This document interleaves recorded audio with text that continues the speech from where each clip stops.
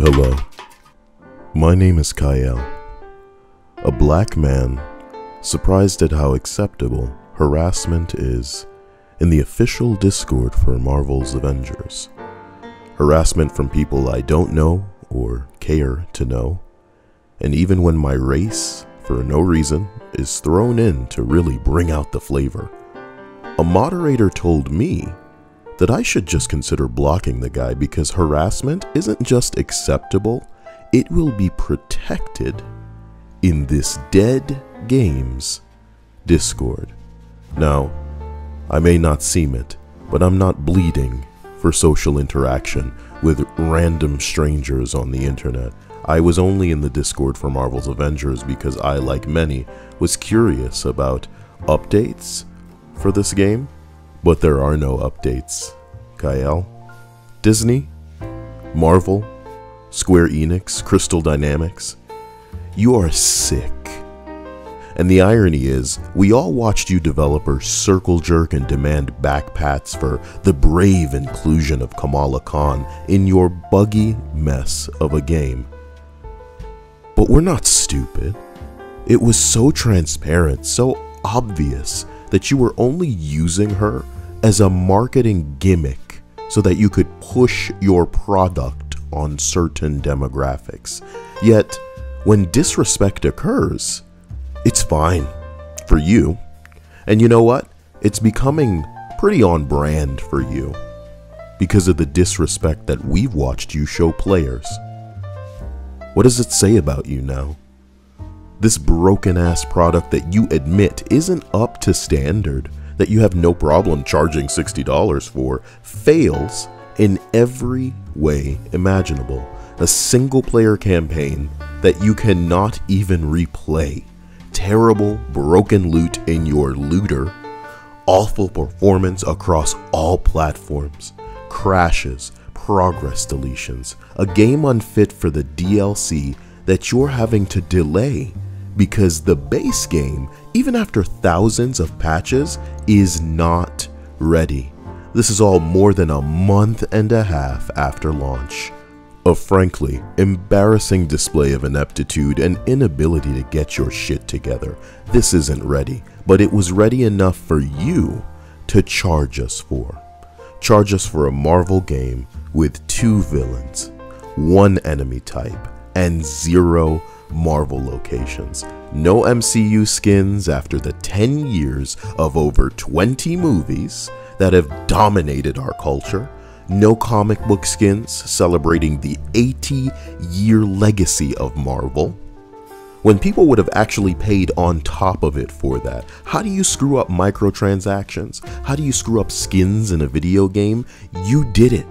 You're writing a book on how not to everything right now. And if this disgracefully out of touch lack of content wasn't bad enough, in your questions and answers video yesterday, where you ignored the main questions of the community, you were stupid enough to mention that biomes were coming? As if any Marvel fan is interested or excited about biomes, people want Asgard, Atlantis, Wakanda, space locations, etc. But you're willfully ignorant. Even Paul Tassi of Forbes, a games journalist, submitted questions on your tweet since that was the way that you were going about this, and you ignored his questions, which mirrored the player base's questions, because you think when people want a superhero in their superhero game, they mean Archer? And not just one Archer, but two Archers? Both delayed, by the way, and not just delayed like they were the first time, but delayed again, double delayed, twice delayed, two times. Two Archers, much like the two villains that are the only things available in your Marvel game. I have two words for you. But much like Captain America in your video game, you are not worthy of my words. You are unworthy of my time. You are unworthy of anyone's time. You are unworthy of any attention.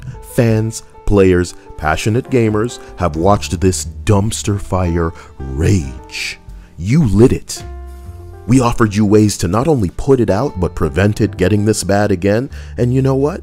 It's becoming clear you want it to be this way, and that's completely fine. I'm not going to reduce myself to your level further. I endeavor to be better than you. I offer solutions, however brash, blunt, or biting. For a month, I've tried. I didn't lie like the clowns on YouTube that you give the attention because they're so fake, and that's what you want. You want a reaction like a Star Wars trailer where somebody's crying. I never led people to believe in foolishness like they do. Spider Man coming in January? You can't even get two archers out. You're pushing it to the end of the calendar year. I never led people to believe madness or instructed them on how to glitch, and you know why? It's because, honestly, your game was so broken that it could erase people's progress and resources unprovoked. I wouldn't want to have any part in that. Can you imagine me attaching my name to your broken garbage? I am done. But what I hope more than anything is that you are done Crystal Dynamics. You had your window to dump this trash game and you didn't flinch. You didn't miss a step. Without hesitation, you charged for a broken product that you're trying to backpedal with and fix right now, with entries like Cyberpunk and Spider Man coming out here soon to demonstrate just how far $60 can really go, I hope you are forgotten. Your behavior indicates exactly that this is what you want. So, be ashamed. Because I believe Cyberpunk, specifically, may be a game as influential as, as a Skyrim, Grand Theft Auto, Minecraft, like combined. I already know that Spider Man is going to celebrate a legacy, a Marvel history, and carve out a new identity. It's going to be fun, it's going to function, and it's gonna be able to sell incredibly well without having to shove race down people's throats or, or expecting an award because the protagonist is black. Jesus Christ, Marvel's Avengers, you are the definition of cringe. You know what breaks my heart though?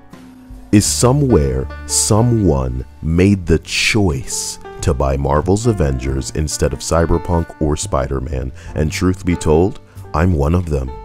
No more. I'm going to work towards a PS5 because I want one. I deserve it. I deserve to have fun. I deserve to take the edge off as opposed to have my experiences compromised by things not working. To have people ignore me as a, as a member of a community in a live service. All you had was to communicate and keep the good faith of your player base just hanging on. Couldn't do that. You're fools. Marvel's Avengers is the culmination of lies, deceit, disrespect, confusing decisions, and a development cycle, or lack thereof, that deliberately keeps so secret that it's killed any hype that players could have had for the future of this game. But as I said before, that may have been their intention. If you're playing this still, I urge you to stop. They don't deserve you. I'd ask you to subscribe, but I'm honest enough to tell you that my content isn't always gaming oriented. I'm not a YouTuber, I'm just a guy with a channel, and I thank you for listening. And if you've shared even a part of the struggle of trying to like this game, then know that you aren't alone. This game's so bad that people damn near need a support group after it. Marvel, come get your license, please. Make a free play, make a make a free to play gacha game like Genshin Impact, I would gladly play a free Marvel game that felt complete, that offered me something, that had locations and villains and heroes, and I would gladly throw my money to experience more of those heroes, more of those locations. Because in this world, People are willing to pay for something that they consider satisfying, but when you pay for something that the person selling it to you then admits, yeah, it ain't even that great, it's not working, it's broken, eh, we need to do better, it's not up to our standard. What the fuck? You owe these people. You owe these people. Links in the description, man. Thank you for your everything. Boy, Thank you for your help on this journey to a PS5. Journey to the center of a PS5. Buckle up, man. It's time to start having some fun on this channel. Oh my god.